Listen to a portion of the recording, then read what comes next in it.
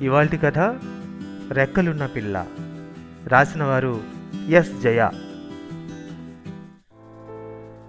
నీకేమైనా పిచ్చా? ఉండుండి ఆశనా పెళ్ళి చేసుకునేది. ప్రేమ పిచ్చి ఒకటే అన్నారు కానీ పెళ్ళి పిచ్చి ఒకటనలేదు రవిశంకర్ మురళిని ఎగతాళి చేశాడు. మళ్ళీ అతనే కాసేపాగి ఆశ గురించి ఒక విషయం చెప్పనా? నొచ్చుకోకు మరి. ప్రేమ కోసమై వలలో చిక్కుకున్నావేమోనని చెప్తున్నాను. మురళి కళ్ళలోకి చూశాడు రవిశంకర్. ఆ కళ్ళలో ఏ ఉత్సుకత కనిపించలేదు. మాట్లాడడానికి కాసేపు తటపటాయించాడు. దాన్ని కప్పిపుచ్చుకోవడానికి ఈలోగా సిగరెట్ వెలిగించాడు. రవిశంకర్ మురళి మంచి స్నేహితులు. ఇద్దరూ ఒకే కాలేజీలో లెక్చరర్లు ఒకరు ఎకనామిక్స్ మరొకరేమో పొలిటికల్ సైన్స్. ఒకే యూనివర్సిటీలో చదువుకున్నారు. ఒకే స్టూడెంట్ యూనియన్లోనూ పనిచేశారు. వారి మధ్య దాపరికాలు లేవు. ఆశకు రెక్కలున్నాయి. ఎప్పుడైనా నీ చేతుల్లోంచి ఎగిరిపోవచ్చు. రహస్యం చెబుతున్నట్టు చెప్పాడు రవిశంకర్. మురళి మందహాసం చేస్తూ ఆశ రెక్కల్ని చూశావా? అడిగాడు. చూడలేదు కానీ రెక్కల చప్పుడు చాలాసార్లు విన్నాను. ఆమె దగ్గరగా వచ్చిందంటే జాలు రెక్కల చప్పుడు వినిపిస్తుంది. భయంతో వణికిపోతాను. ఆశ వైపు చూడాలన్నా నాకు భయమే. నువ్వు చూసావా? ఎదురు ప్రశ్న వేశాడు. మురళి వైపు జాలిగా చూస్తూ రవిశంకర్ మళ్ళీ అన్నాడు. నువ్వు చూసుండవు. విని ఉండవు. ప్రేమమైకంలో ఉన్నావు కదా. అట్లా జాలిగా చూడకు. నేనేమి చిక్కుల్లో పడలేదు. ఆశకు రెక్కలున్నాయని తెలుసు. ఆమె వ్యక్తిత్వం చూసి స్నేహం చేశాను. ఆమె రెక్కల్ని చూసే ప్రేమించాను. కలిసి ఉందామనుకుంటున్నాం. ఇది ఆశ నిర్ణయం కదా? ఇది మా ఇద్దరి నిర్ణయం. ఆశకు రెక్కలున్నాయని కదా అట్ట అడుగుతున్నావు? మీరు పెళ్ళెందుకు చేసుకోరు? పెళ్ళంటే ఏంటి? ఒక ఇంట్లో ఇద్దరిని బంధించి కాపురం చెయ్యండి అని అందరూ ఆమోదించడమా? మా మధ్య ప్రేమ ఉన్నన్ని రోజులు కలిసి ఉంటాం. లేనప్పుడు ఇంత సింపుల్గానూ విడిపోతాం. కలిసి ఉండటానికి పెళ్ళిపీటలు మంగళ వాయిద్యాలు అక్కర్లేదు. విడిపోతున్నప్పుడు లాయర్లు కోర్టులు తీర్పులు అక్కర్లేదు. ఇంట్లో చెప్పావా? మీ అమ్మ నాన్న ఇష్టపడ్డారా? ఆశను మా అమ్మ నాన్నకు పరిచయం చేశాను. చాలామంది తల్లిదండ్రుల్లాగే మా వాళ్ళు అభ్యంతరం చెప్పారు. విషయాన్ని చాలా క్లుప్తంగా స్నేహితునికి చెప్పాడు మురళి. మురళికి తన అమ్మా నాన్నల సంగతి తెలుసు. అంగీకరించరని కూడా తెలుసు. కానీ తనేం తప్పు చేయడం లేదు. వారికి విషయం తెలియకుండా రహస్యంగా ఉంచాల్సిన పనేమీ లేదు అనుకున్నాడు. ఒకరోజు ఆశను ఇంటికి తీసుకెళ్ళాడు. ఆశను చూడగానే మురళి తల్లి అందమైన పిల్ల బాగా చదువుకున్న అమ్మాయి అని సంబరపడింది. కానీ ఆశను చూస్తున్న కొద్దీ ఆమెలో ఆందోళన పెరగసాగింది. ముందు ఆశ కళ్ళల్లో మెరుపు చూసి తొట్టుపడింది మరి కాసేపటికి మాటల్లో సూటిదనం స్పష్టత చూసి జంకింది. ఆశ ఒక గంటలోనే ఆ ఇంటితో ఆ మనుషులతో ఎన్నో ఏళ్ళ పరిచయం ఉన్నట్లు కలివిడిగా మాట్లాడుతూ ఉల్లాసంగా ఒకసారి తన రెక్కల్ని విప్పి ఆనందంగా ఆడించి ముడిచింది. అంతే మురళి తల్లి భయంతో వణికిపోయింది. ఆశ వెళ్ళిపోయాక ఈ పెళ్ళి జరగడానికి వీల్లేదు. ఎక్కడో పెళ్ళి చేసుకొని ఆమెను ఇంటికి తెచ్చావా? నా శవాన్ని చూస్తావు అని బెదిరించింది తల్లి. మేము ముందే నిర్ణయించుకున్నాం. వేరే ఇల్లు తీసుకుంటున్నాం. నువ్వు కాక మాకు ఇంకెవరున్నారు? రెక్కలున్న పిల్ల పెళ్ళైన వెంటనే వేరే కాపురం పెట్టిస్తుందేమోనని భయపడి ఈ పెళ్ళి వద్దంటున్నాం కానీ పెళ్ళి కాకుండానే వేరే పోతావా? మురళి తండ్రి అడిగాడు. పుట్టింటి నుంచి మెట్టినింటికి వలసపోవడానికి ఆమె మామూలు ఆడపిల్ల కాదు. అందుకే మా ఇల్లు మేము ఏర్పాటు చేసుకున్నాం.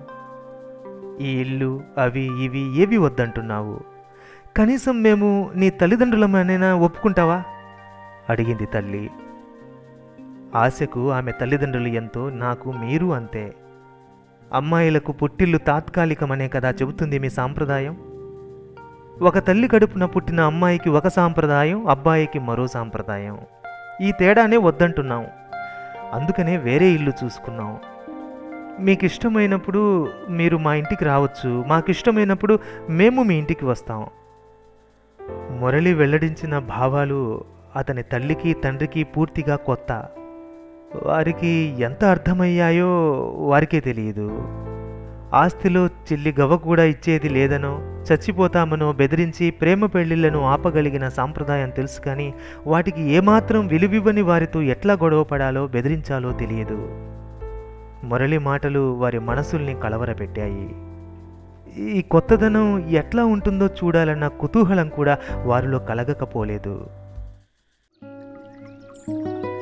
నీకు రెక్కలు వచ్చేటట్లు పెంచిన మీ అమ్మని చూస్తే నాకు చాలా గౌరవం. మా అమ్మ మా అక్కను ఎప్పుడు ప్రతి చిన్న పనికి కోప్పడుతూ సరిదిద్దుతూ ఉండేది. పెళ్ళి కాకముందే మా అక్కను ఓ మంచి గృహిణిగా తయారు చేసింది మా అమ్మ. అన్నాడు ఒకరోజు మురళి వంట సమయంలో. మురళి ఆశ వారంలో రెండుసార్లు మాత్రమే వంట చేసుకుంటారు. ఎవరికి ఇష్టమైనవి వారు నాలుగు రకాల కూరలు చేసుకొని ఫ్రిడ్జ్లో పెట్టుకుంటారు. ఇద్దరు కలిసి ఒక గంటలో వంట పూర్తి చేసేలోగా తరచుగా వాళ్ళు చిన్నప్పటి ఆటపాటల గురించి చిన్ననాటి స్నేహితుల గురించి తల్లిదండ్రుల గురించి ఒక్కోసారి ఫక్తు వంటల గురించి కూడా మాట్లాడుకునేవాళ్ళు. మురళి మాటలకు పగలబడి నవ్వింది ఆశ. నాకు రెక్కలు రావడానికి మా అమ్మ కారణమని అంత ఖచ్చితంగా ఎలా ఓ నిర్ణయానికి వచ్చావు నువ్వు? అంది. మరి? మా శ్యామల టీచర్ స్నేహం వల్లనే నాకు ఈ రెక్కలు వచ్చాయి అని తన రెక్కల్ని చాపి వాటి వైపు మురిపంగా చూసుకుంది. మురళి లాలనగా ఆశ రెక్కల్ని సుతారంగా నిమిరాడు. ఆశ కళ్ళు గర్వంతో వెలిగిపోయాయి. నేను ఎనిమిదో తరగతి చదువుతున్నప్పుడు శ్యామల టీచర్ మాకు ఇంగ్లీష్ను టీచ్ చేసేది. ఆమె మాకు ఎన్నెన్నో కథలు చెప్పేది. అవి ఏ పుస్తకాల్లో ఉంటాయో ఆ పుస్తకాలు ఎక్కడ దొరుకుతాయో అడిగాను. ఒకసారి ఇంటికి రమ్మంది. చాలా పుస్తకాలు ఉన్నాయి నాకు అప్పుడే తెలిసింది నాకు కూడా పుస్తకాలంటే ప్రాణమని. నేను ఇంటర్లో చేరాక కూడా మా టీచర్ ఇంటికి వెళ్ళి బుక్స్ తెచ్చుకొని చదివేదాన్ని. రంగనాయకమ్మ రాసిన జానకి విముక్తి నవలను బట్టియం వేశానంటే నమ్ము. ఆ బుక్స్ నాలో కొత్త కొత్త ఆలోచనలు రేకెత్తించేవి. ఎవరు ఏం మాట్లాడినా ఏదో లోపం ఉన్నట్టు అనిపించేది. నేను అమ్మ చెప్పినట్టు నడుచుకోవడం లేదని దీనికంతా కారణం శ్యామల టీచరేనని మా అమ్మ అనుకుంది అని చెప్పింది ఆశ. కాలేజీలో చేరావు. ఇంకా శ్యామల టీచర్ ఇంటికి ఎందుకు వెళ్తావు? ఆ పుస్తకాలు చదవడం మానేసాయి. ఒకరోజు ఆశ తల్లి అనురాధ అంది. ఆ బుక్స్ చదవడం నాకు ఇష్టం చదువుతాను. ఇట్లా ఎదురు మాట్లాడుతున్నావనే ఆ టీచర్ ఇంటికి వెళ్ళొద్దు అంటున్నాను.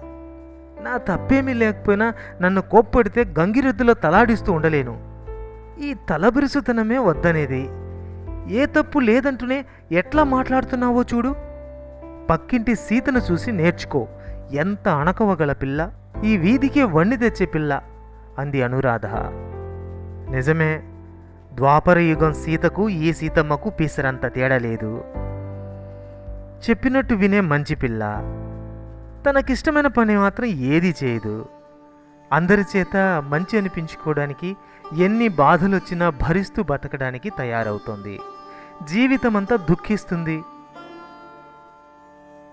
సతీమ తల్లి సీతను కూడా తిరస్కరిస్తున్న ఆశ తన చేతులు దాటిపోయిందని గుర్తించింది అనురాధ. ఈ విషయాన్ని అంగీకరించే స్థితిలో ఆమె లేదు. ఆశను లొంగదీయడానికి తనలో ఎక్కడలేని కాఠిన్యాన్ని బయటపెట్టింది. మొరటుగా తిడుతూ కొట్టడానికి ఆశ మీదికి చెయ్యెత్తింది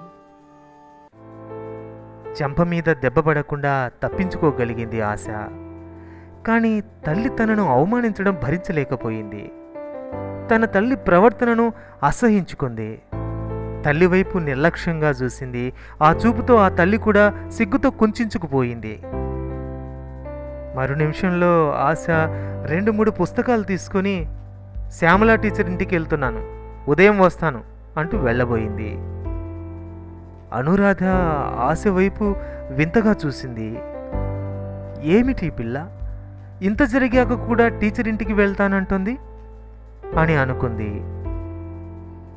ఒకటి గుర్తుంచుకో అమ్మా. నేనేం చిన్నపిల్లను కాదు. మంచి చెడు నిర్ణయించుకోగలను. ఇంకెప్పుడు నా మీదికి చేయెత్తద్దు ఆశ చాలా మామూలు విషయంలా చెప్పి వెళ్ళిపోయింది. ఆశ ప్రవర్తనకు ఆ తల్లి ఆశ్చర్యపోయింది. శ్యామల టీచర్ ఇంటికి వెళ్ళిన ఆశ రోజుకన్నా ఎక్కువసేపు చాలా శ్రద్ధగా పాఠాలు చదువుకుంది. అర్ధరాత్రి దాటినా నిద్ర రావడం లేదని చదువుకోవడానికి రెక్క విప్పిన రెవల్యూషన్ పుస్తకం తీసుకుంది. ఫ్రాన్స్లో పంతొమ్మిది వందల అరవై ఎనిమిదిలో జరిగిన విద్యార్థుల ఉద్యమం గురించి విద్యార్థులపై ప్రభుత్వ దమనకాండ గురించి ఏంజిలా కాట్రోచి రాసిన పుస్తకం అది. ఆ పుస్తకం చదువుతూ ఆ సంఘటనలు ఇప్పుడే జరుగుతున్నట్టు ఆ విద్యార్థుల్లో తను ఉన్నట్టు అనిపించింది ఆశకు. ఊపిరి తీసుకోకుండా కూడా మర్చిపోయి ఏకబిగిన ఆ పుస్తకం పూర్తి చేసింది. ఒక కొత్త ఉత్సాహం ధైర్యం వచ్చినట్టు అనిపించింది. నిద్రలోకి ఒరిగిపోయింది. అందమైన కళ. అద్భుతమైన ఆనందమేదో తనలోకి పొగమబ్బులా దూసుకుపోయింది. తనకు రెక్కలు మొలుచుకొచ్చాయి. ఆకాశంలోకి ఎగిరిపోయింది. తెల్ల మబ్బుల మధ్య గిరికీలు కొడుతోంది తను. ఆశ సంతోషంతో కళ్ళు తెరిచింది. భుజాలను తడుముకుని ఉలిక్కిపడింది ఇప్పుడు తనకు రెక్కలొచ్చాయి. రెక్కల్ని చూసుకుని ఆశ్చర్యపోతుంటే శ్యామల టీచర్ కాఫీ కప్పుతో వచ్చి మంచి కలతో మేల్కొన్నట్టున్నావు? అంది. అవును టీచర్ రెక్కలు వచ్చినట్టు కలగన్నాను. మెలకు వచ్చి చూసుకుంటే నిజంగానే నాకు రెక్కలు వచ్చాయి అని చూపించింది. శ్యామల టీచర్ వాటిని చూసి ఆనందంతో పొంగిపోయింది. ఎంత అందంగా ఉన్నాయి ఈ రెక్కలు? అంది రెక్కలను సుతారంగా నిమురుతూ. ఆశ తన రెక్కల్ని చూసుకోవడంలో మునిగిపోయింది. కాఫీ తాగడం మర్చిపోయి. ఎందుకైనా మంచిది రెక్కల్ని ఎవరికంటా పడకుండా జాగ్రత్త చేసుకో. నీ కాళ్ళ మీద నీవు నిలబడగలిగే పరిస్థితి వచ్చే వరకు జాగ్రత్త తీసుకో. శ్యామల టీచర్ మాటలతో ఆశకు ముందు తన తల్లి తండ్రి గుర్తుకొచ్చారు. ముందు వారికంట పడకుండా చూసుకోవాలి ఈ రెక్కల్ని అని అనుకుంది. ఆశ భయపడినట్టే జరిగింది. ఒకరోజు చదువుకుంటూ మైమరిచి రెక్కలు చాపింది ఆశ. అనురాధ ఎందుకనో అప్పుడే ఆ గదిలోకి వచ్చి కూతురుని చూసి భయపడిపోయింది. మరుక్షణంలో ఆశ తన తప్పు తెలుసుకుని రెక్కల్ని ముడిచి ఎవరికి కనిపించకుండా జాగ్రత్త చేసుకుంది. మళ్ళీ ఏమీ ఎరగనట్టు ఏకాగ్రతతో చదువుకుంటూ కూర్చుంది. అనురాధ ఆందోళనగా వెళ్ళి భర్తకు విషయం చెప్పి వెంట తీసుకొని ఆశ ఉన్న గదిలోకి వెళ్ళింది. వారు వచ్చిన అలికిడికి ఏమాత్రం చలించకుండా చదువుకుంటూ ఉంది ఆశ. చదువులో నిమగ్నమైపోయిన కూతుర్ని చూసి ఆ తండ్రి భార్య చెప్పింది నమ్మలేదు. గది బయటకు వెళ్ళి నువ్వేదో భ్రమపడ్డావు. మనుషులకు ఎక్కడైనా రెక్కలుంటాయా? ఒక్క రోజులో ఆశకు రెక్కలు ఎట్లా వస్తాయి? అని వెళ్ళిపోయాడు. ఇక ఆ రోజు నుంచి తల్లి తనను గుచ్చి గుచ్చి చూస్తోందని ఆశ గమనించింది. తన రెక్కల్ని దాచడానికి మరిన్ని జాగ్రత్తలు తీసుకుంది. అలా రెండేళ్ళు నెట్టుకు రాగలిగింది. ఒకసారి బాగా జ్వరం వచ్చి అపస్మారక స్థితిలోకి వెళ్ళిపోయింది ఆశ. అనురాధ మందులు ఇస్తూ సపర్యలు చేస్తూ ఒకరోజు ఆశ భుజాలు తడిమి చూసింది. రెక్కలున్న విషయం నిర్ధారించుకుంది. భర్తకు చూపించింది. జ్వరంలో ఉన్న కూతురిని ఏమీ అడగలేకపోయారు. తల్లి తండ్రికి తన రెక్కల సంగతి తెలిసిపోయిందని ఆశ కూడా గుర్తించింది. ఒకరోజు ఆశ అదమరిచి నిద్రపోతుండగా అనురాధ ఆమె భర్త కలిసి ఆశ రెక్కల్ని కత్తిరించడానికి ప్రయత్నించారు. రెక్కల మీద కత్తి పెట్టారో లేదో ఆశకు మెలకు వచ్చేసింది. తన రెక్కల్ని కత్తిరించవద్దని ఏడుస్తూ ఒక్క ఉదుటున మంచం దిగి పక్క గదిలోకి వెళ్ళి తలుపులు వేసుకుంది. తెల్లారాక పని మనిషి తలుపు కొడితే తలుపు తీసింది ఆశ. స్నానం చేసి కాలేజీకి వెళ్ళడానికి తయారైంది. తన బుక్స్ అన్ని రెండు సంచుల్లో సర్దుకుని నాలుగైదు డ్రెస్సులు ఒక సూట్ కేసులో సర్దుకుంది. వాటిని చూసి ఎందుకు ఇవన్నీ? అని అనురాధ అడిగింది. నాకు రక్షణ లేని ఇంట్లో నేను ఉండలేను. ఒకరినొకరం అనుమానంతో చూసుకుంటూ దొంగల్లాగా బతకడం నాకు ఇష్టం లేదు. పరీక్షలు అయ్యేదాకా శ్యామలా టీచర్ ఇంట్లో ఉంటాను. తర్వాత ఏదైనా ఉద్యోగం చూసుకుంటానమ్మా. అని విసవిస వీధిలోకి నడిచి ఆటో రిక్షాని పిలిచింది. తల్లి తండ్రి చూస్తుండగానే ఆటోలో ఎక్కి వెళ్ళిపోయింది. ఆశతో ఒక్క మాట మాట్లాడలేకపోయారు. రెక్కల్ని చూసి తామెందుకు అంత కిరాతకంగా ప్రవర్తించామా అని పాశ్చాత్తాపపడ్డారు. ఆశని అదుపులో పెట్టాలని ప్రయత్నించి చివరికి తాము తప్పు చేశామని గుర్తించారు. ఆ సాయంత్రమే శ్యామల టీచర్ ఇంటికి వెళ్ళి ఆశను ఇంటికి రమ్మని బతిమాలారు. వద్దు మీరు నన్ను అర్థం చేసుకోలేరు. ఈ ప్రేమ చాలు అప్పుడప్పుడు కలుసుకుంటూ ఉందాం. నేను ఇక్కడ సంతోషంగా ఉంటానని మీకు తెలుసు. నా గురించి బెంగ పెట్టుకోవద్దు అని తల్లిని ఓదార్చింది. ఆశ ఏనాడు తొందరపడి తనను ఒక్క మాట అనలేదు.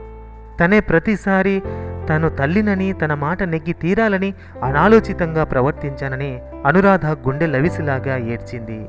ఆ కన్నీళ్ళు ఆమెలోని కాఠిన్యాన్నంతా కడిగేసినట్టున్నాయి. ఆ రోజు నుంచి ఆమె ఆశను అమితంగా ప్రేమించింది. ఆశ బిఏ పూర్తి చేశాక ఉద్యోగంలో చేరాలనుకుంది. కానీ శ్యామల టీచర్ ఒప్పుకోలేదు. ఆశ తల్లి తండ్రి కూడా ఆశ చదువుకోవాలని చెప్పారు. వారిలో ఈ మార్పు చూసి ఆశ సంతోషపడింది. ఎంఏ పూర్తి చేసి కాలేజీలో లెక్చరర్గా చేరింది. అక్కడే ఆమెకు మురళితో పరిచయమైంది. అమ్మ నాకు జన్మనిచ్చింది. మా శ్యామల టీచర్ నాలో చైతన్యం కలిగించారు. చైతన్యించినప్పుడే కదా నిజంగా జన్మించినట్టు? అంది ఆశ. ఆ క్షణంలో ఆశలో మరికొన్ని కొత్త అందాలు చూసి మురళి ఆనందంతో పొంగిపోయాడు. శ్యామల టీచర్ను నాకింతవరకు పరిచయం చేయలేదు అన్నాడు మురళి. వంట పూర్తి చేసి ఇద్దరు చేతులు గడుక్కున్నారు ఒక్క నిమిషం అంటూ చేతులు గబగబా తుడుచుకుంది. నాప్కిన్తో దాన్ని మురళి చేతుల్లో పెట్టి ఫోటో ఆల్బమ్ తీసుకొచ్చింది. మురళి కూడా గబగబా చేతులు తుడుచుకుని నాప్కిన్ని ఫ్రిడ్జ్కి తగిలించి ఆల్బంలోకి తొంగి చూశాడు. ఇంతకుముందే ఈ ఫోటో చూపించి నాకు ఇష్టమైన టీచర్ అని చెప్పావు కానీ మీ మధ్య ఇంత అనుబంధం ఉందని చెప్పలేదు. నాకు ఇప్పుడే శ్యామల టీచర్ను చూడాలని ఉంది వెళ్దామా? అన్నాడు మురళి. ఆమె లేరు. నేను ఎంఏలో ఉండగానే చనిపోయారు. ఓ సారీ ఆమెను గుర్తు చేసి బాధ పెట్టాను. అదేం కాదు మన దగ్గర లేని వాళ్ళను గుర్తు చేసుకొని కొత్త ఉత్సాహాన్ని నింపుకోవాలి. నాకెప్పుడు దిగులు వేసినా శ్యామల టీచర్ను గుర్తు చేసుకుంటాను. అవునా? అయితే ఆ ఫోటో ఇటువు? దేనికి? అంటూనే ఆల్బంలోంచి ఫోటో తీసి ఇచ్చింది ఆశ. ఫోటో ఎన్లార్జ్ చేయించి లామినేషన్ చేయిస్తాను. బుక్స్ అల్మారలో కనిపించేటట్టు పెడదాం. భలే మంచి ఐడియా. ఆశ రెక్కల్ని చాపి మరలిని కౌగిలించుకొని ముద్దు పెట్టుకుంది. ఎంత రెక్కలుంటే మాత్రం రాత్రి పదకొండు గంటలయ్యింది. ఇంకా ఇంటికి రాలేదు. టీచర్ మీరైనా చెప్పండి ఆశకు. ఈ భయాన్ని భరించడం క్షణక్షణానికి కష్టమవుతోంది. ఫోటోలోని శ్యామల టీచర్కు ఫిర్యాదు చేశాడు మురళి. అప్పుడే డోర్ బెల్ మోగింది. పరుగున వెళ్ళి బోల్ తీశాడు మురళి. ఎదురుగా ఆశ. అమ్మయ్య ఏమైందోనని భయపడి చస్తున్నాను. ఎట్లా వచ్చావు? ఎక్కడికి వెళ్ళావు? ఓల్డ్ సిటీలో కమ్యూనల్ టెన్షన్స్ మొదలయ్యాయి. నీ గురించి ఎంత ఆందోళన పడుతున్నానో. నీ కోసం స్వప్నకు రాధికకు ఫోన్ చేశాను. నువ్వెక్కడికి వెళ్ళింది? వాళ్ళు చెప్పలేకపోయారు. భార్గవి ఈరోజు ఫ్రెండ్స్కి అందరికి పార్టీ ఇచ్చింది. తొమ్మిదికంతా వస్తాననుకున్నాను. నీకు కూడా ఏదో మీటింగ్ ఉందన్నావు కదా. భుజానుకున్న బ్యాగ్ అల్మారాలో పెడుతూ అడిగింది. ఓల్డ్ సిటీలో టెన్షన్గా ఉందని మీటింగ్ రద్దు చేశారు. ఏడుకంతా ఇంటికి వచ్చాను అప్పటి నుంచి నీకోసం ఎదురు చూస్తున్నాను తెలుసా? ఏమన్నా చదువుకోవచ్చు కదా అంది కుర్చీలో చేరగిలబడుతూ. నీకోసం ఎదురు చూస్తూ వంట చేశాను. ఫోన్ చేస్తావేమోనని నిన్ను తీసుకురావచ్చని ఎదురు చూస్తున్నాను ఫోన్ చేయొచ్చు కదా? నేను రాగలను కదా? నీ టైం పాడు చేయడం ఎందుకని ఫోన్ చేయలేదు. నేను తినే వచ్చేసాను. నువ్వు తిను. డైనింగ్ టేబుల్ దగ్గరికి నడిచారు ఇద్దరు. మురళి వడ్డించుకున్నాడు. రెండు మూడు నెలలుగా చూస్తున్నాను. బాగా పనులు పెట్టుకుంటున్నావు. ఇంటికి వెళ్ళి హాయిగా కబుర్లు చెప్పుకుందామని కలలు కంటూ వస్తానా? నువ్వు కనిపించకపోయేసరికి దిగులు వేస్తుంది. ఇక వస్తుంది ఇక వస్తుంది అనుకుంటూ ఎదురు చూస్తూ ఉంటాను. ఉదయమే ఏదన్నా మీటింగ్ ఉంటే చెప్పొచ్చు కదా. నేను వచ్చి పికప్ చేసుకుంటాను. త్వరగా ఇల్లు చేరుకుంటాం. ఎందుకు ఇలా తయారవుతున్నావు మురళి? నేను పనులు కల్పించుకుంటున్నట్లు నువ్వు ఏమైనా పనులు పెట్టుకోవచ్చు కదా. నన్ను అంటున్నావు నువ్వెందుకు మారిపోయావు? నువ్వు ఎక్కడికి వెళ్ళేది నాకెందుకు చెప్పడం లేదు? ప్రతిదీ ఎందుకు చెప్పాలి? తప్పేంటి? నాకు ఇష్టం లేదు. కొన్ని కొన్ని పనులు నేను చేసుకుంటేనే నాకు హాయిగా ఉంటుంది. నేను వెంట ఉండడం నీకు ఇబ్బందిగా ఉంటుందా? మురళి అన్నాడు. ఎందుకుండదు? లేకపోతే నీకు బోర్ కొట్టకుండా నేను నా ఫ్రెండ్స్ చూసుకోవాలి. అది కాక నీకు నీ ఫ్రెండ్స్ లేకపోతే ఎట్లా? నీకు నాకు అంటూ ప్రత్యేకంగా ఎందుకు? నీ ఫ్రెండ్సే నా ఫ్రెండ్స్ కదా? అంత ఇరుకుగా జీవించొద్దు మనం. అన్నిట్లో పూర్తిగా కలగలిసిపోవడంలో ఎప్పుడూ ఎవరో ఒకరికి నష్టం కలుగుతుంది. నీ స్నేహితులు నీ పనులు వేరే ఉండాలి. రవిశంకర్ నీకు మంచి ఫ్రెండే కదా. ఎన్నాళ్ళైంది మీరు కలుసుకొని? ఇప్పుడు అవన్నీ ఎందుకు? నీకు ఏ ఇబ్బంది కలగకుండా చూడడం కోసమే నేను నీ కోసం వస్తానంటున్నాను. అది నాకు ఇష్టం లేదు. నువ్వు నా కోసం డ్రైవర్గానో పిఆర్ఓగానో పనిచేయడం నాకు ఇష్టం లేదు. నాకు రెక్కలున్నాయి. నా పనులు నేను చేసుకోగలను. ఆశ అభిప్రాయాలు ముందు కొంత కఠినంగా కనిపించే మురళికి. కానీ ఆలోచిస్తున్న కొద్దీ అందులో అర్థం చాలా ఉందనిపించింది. నిజమే ఒకరి స్వేచ్ఛ మరొకరికి అడ్డంకి కాకూడదు అనుకున్నాడు మురళి. అంతే ఈ కథ. మిత్రులరా కథనం యూట్యూబ్ ఛానల్ని సబ్స్క్రైబ్ చేయండి.